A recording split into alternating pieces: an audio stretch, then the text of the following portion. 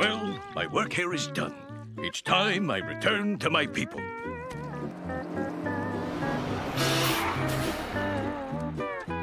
Let me offer some sage advice. You must listen to the earth and the stars, for only they can guide you.